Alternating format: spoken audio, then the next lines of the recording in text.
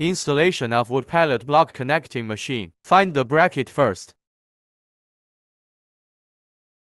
Then reload the screws. After the gap is reserved in the middle of the nut, installed on the square tube at the bottom of the device and fixed. Loosen all the screws on the orange board. Install the small accessories in front as well. The last step is to install the roller bracket. Assembled in the same way on both sides.